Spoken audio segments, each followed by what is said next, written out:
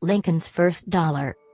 As in all farming communities, where the only movement of currency is when the crop comes in and the debts accumulating during the growth are settled and the slight surplus spent, the Indiana pioneers little knew extra cash. To obtain it, the men used their off hours in guiding intending settlers, assisting surveyors and prospectors, felling and hewing trees, and horse trading. Another source of income out of bounds was to send a stock of produce down the river to sell or barter for the southern plantation produce. As there was talk at home of furnishing their house, Abraham bethought him of this resource.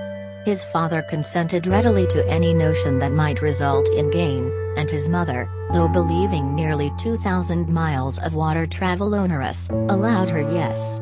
Besides, the young man, by excessive work on their place, had piled up a goodly stock of saleable stuff. Abraham had only to make a boat.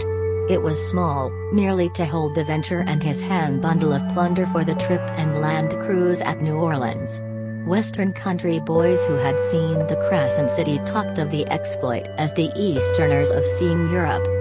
Abe was maneuvering his boat on the Ohio River, at Rockport, when he heard the whistle announcing the approach of a steamboat. These craft were not enabled to make a landing anywhere, even with a run-out gangplank but took passengers and parcels aboard by lighters.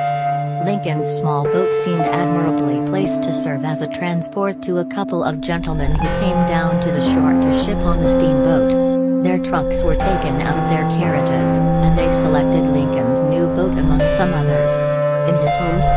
the gawky youth looked what he was not the owner of the craft and about to try a speculation on the river, but one of the scrubs. The scrubs, not from any relation with washing quite otherwise were those poor families on the outskirts of towns who lived in the scrub or dwarfed pines. Accordingly one of them asked, indicating the flatboat. Who owns this? The hero relates the story thus. I answered, somewhat modestly, I do. Will you take us and our trunks out to the steamboat? Certainly, glad of the chance of earning something. I suppose that each of them would give two or three bits practically the dime of nowadays.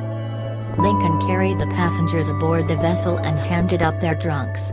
Each of the gentlemen drew out a piece of silver and threw it on the little deck. Gentlemen, you may think it was a very little thing, and in these days it seems to me a trifle, but it was a most important incident in my life. I could scarcely believe my eyes as I picked up the two silver half dollars. I could scarcely credit that I, a poor boy, had earned a dollar in less than a day that by honest work, I had earned a dollar.